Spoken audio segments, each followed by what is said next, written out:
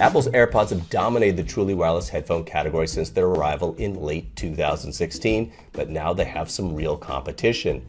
Jabra's new Elite 65T and water resistant Elite Active 65T not only have a more refined, comfortable design than Jabra's earlier Elite Sport models, but they offer improved performance, excellent call quality, and voice support for all major virtual assistants, including Amazon's Alexa on the go.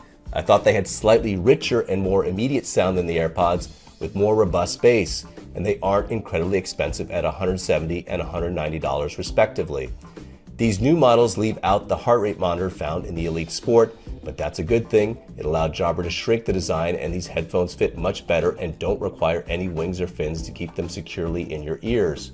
Battery life is rated at 5 hours, the same as the AirPods, and the included compact charging case gives you an extra two charges.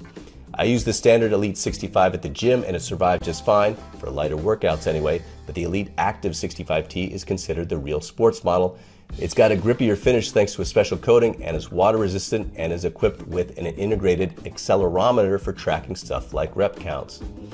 These are noise isolating earphones, which means they passively seal out ambient noise, while the AirPods open design lets a lot of ambient noise in.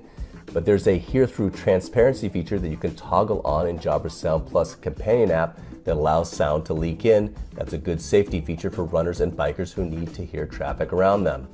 The app also has an equalizer that allows you to tweak the sound for music listening, as well as treble and bass boost modes for call audio.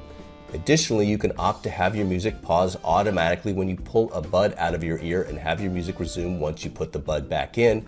To skip tracks forward and back, you hold down the up or down volume buttons on the left earpiece. You do have a choice of voice assistants. On iOS devices, you can toggle between Siri and Alexa, and on Android devices, you can go with Google Now or Alexa or the default voice assistant. Just like with other wireless headphones, you have to press a button and hold it to access the voice assistant.